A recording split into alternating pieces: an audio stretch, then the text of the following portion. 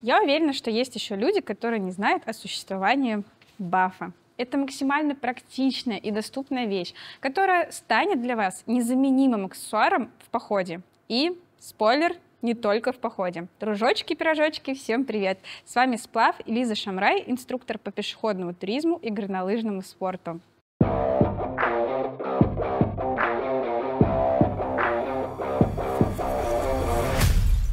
Buff — это многофункциональная вещь, которую можно использовать в любой задаче и любым образом. Опять же, каждый сам под себя выстраивает свою схему пользования. Я же поделюсь своей. Перед выходом из лагеря я всегда наматываю баф на кисть, чтобы он был на готове. И сразу же бафик можно использовать, например, вытирая под со лба. Я совсем недавно вернулась с Ликийской тропы, и было очень жарко и потно, поэтому такой способ использования там был как никогда актуальным.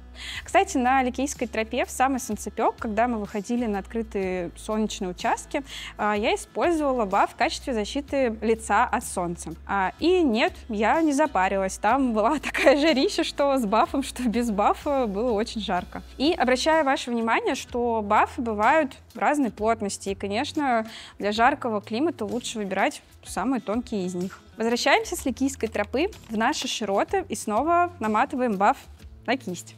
В холодное время у кого-то, например, у меня, может подтекать нос. Тоже удобно это все дело быстренько убрать.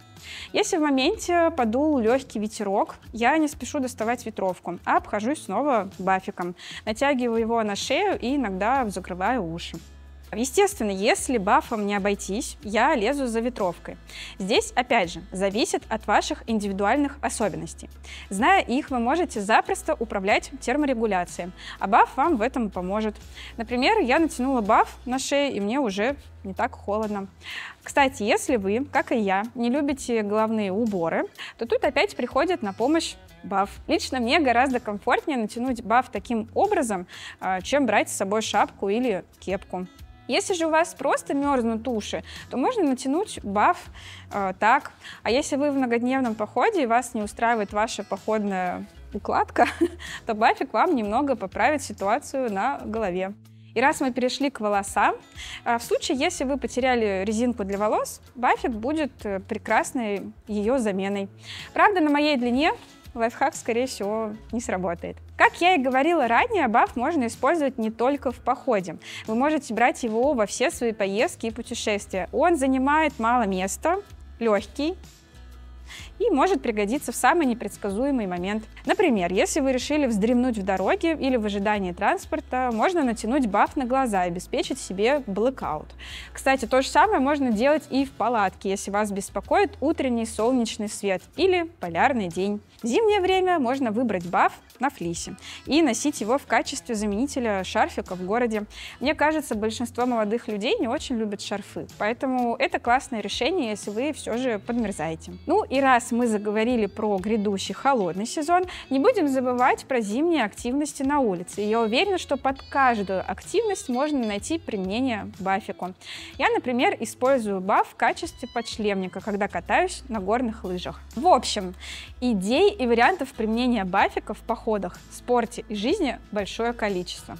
В длительные походы я вообще беру с собой минимум три штуки.